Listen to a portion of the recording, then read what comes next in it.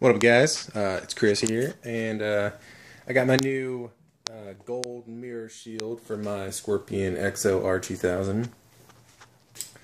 Um, before I got it, I was trying to look up any sort of actual, you know, pictures of what it looked like in person. Couldn't find them. So uh, if anyone else is, you know, looking, hopefully you're going to find this video. Uh, here it is. I think it's a nice looking helmet. Um, but uh, I'm about to remove this little S here for the Scorpion. Mostly because I'm not really digging the, uh, it just doesn't really fit the whole color scheme I got going on here. And also the little warning stickers that it came on, that it came with. The, uh, the glue was probably a little stronger than it needed to be. You can see all the fingerprints here of me trying to get it off. You know, one over here as well.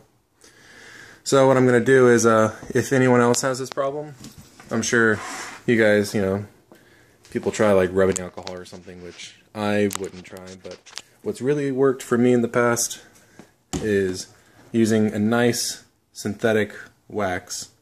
This one's worked really well for me. Um, when I first got the bike, the first thing I did was um, when I got my tank guard, I didn't get a pro grip one. I got a much cheaper one. actually, it wasn't much cheaper. It was actually about the same price but I got it from uh, Cycle Gear.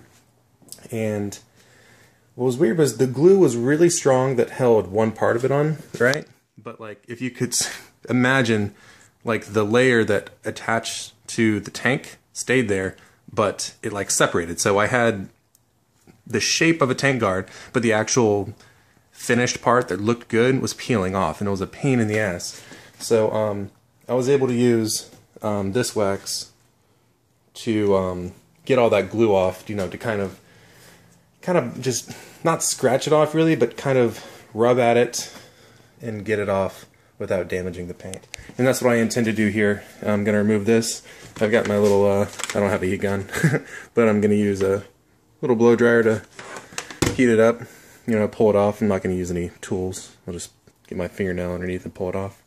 And then I'll use this to remove any residual wax as well as that stuff down there.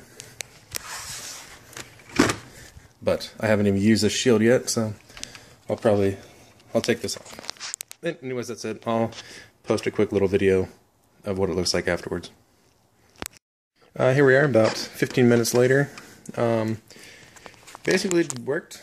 I mean, the only thing was uh, this glue was a little bit, a little stronger than I thought it would have been. So, um, used a little dental floss basically, um, as I was heating it up with that, um, I would just have this hand right here, and I'll just kind of pull and, yeah, just kind of pull it through the, uh, between the surface and the glue. But yeah, like I said, the, um, this worked pretty well. I'm sure other synthetic work, uh, synthetic waxes would work just fine too, but let's see if I can get it in a better light.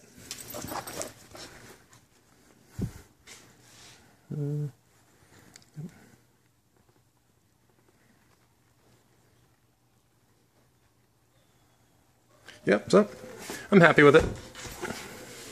I know some people, I mean, I like the way the S looks, I just didn't like the way it looked with the um, the color. Uh, you know, the color of this uh, shield here. So, and uh, I'm not paying me to advertise. I don't need a big Scorpion logo on my helmet. I know, I know it's a good helmet. Anyways. Alright, so I hope you enjoyed the video. Uh, if you liked it, hit the like button. If you didn't like it, hit the dislike button. Or just don't hit anything and leave and never come back. Um, yes, that is it. Goodbye. Yeah, so that whole thing about if you don't like it, don't come back. I'm just kidding. But don't come back for me. Come back for the puppy. Dexter, him to come back. Huh? 哦。